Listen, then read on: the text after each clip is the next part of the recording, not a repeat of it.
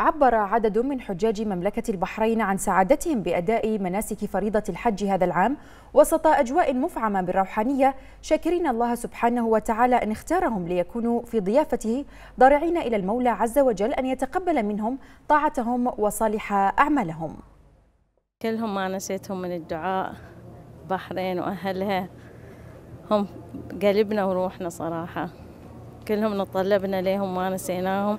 وأن الله يعودهم إن شاء الله ويانا. ما توقعنا صراحة الأجواء بتكون كذي.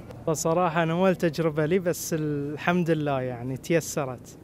بس ما كنت متوقع إن الحج بهاي السهولة بس الحمد لله. تنسيق طيب ما في أي خوف إجراءات الحمد لله وقائية إجراءات احترازية توفير عيادات توفير سيارات إسعاف البعثه الطبيه ما هم قاصرة الجميع متعاون. الحمد لله رب العالمين اللي الله خصنا ومن علينا بزيارة بيته الحرام والحمد لله اللي أدينا هذه الفرض. شعور روحاني وبالعكس الواحد لما يوصل الله ييسر له الأمور وحتى إذا تضايق من شيء بالعكس يعني يحس انه في كل شيء يصير خيرة.